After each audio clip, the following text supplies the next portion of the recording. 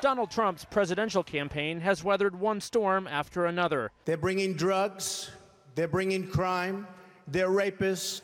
But a new controversy over offensive language is suddenly hitting far closer to home. Who's doing the raping?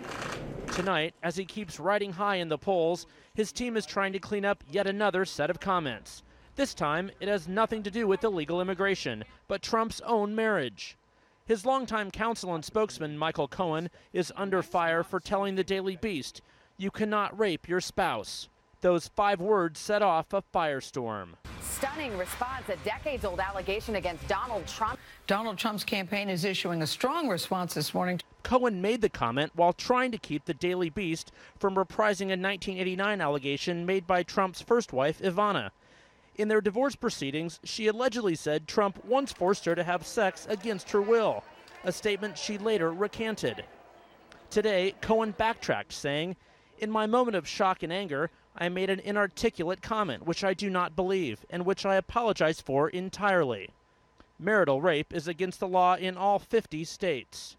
The Trump campaign, famously unapologetic, quickly distanced itself from Cohen, who has been one of the most prominent faces of Trump's candidacy.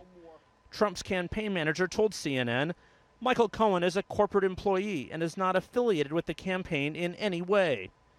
In the middle of it all, Ivana Trump issued a statement of her own today saying their divorce was a time of very high tension.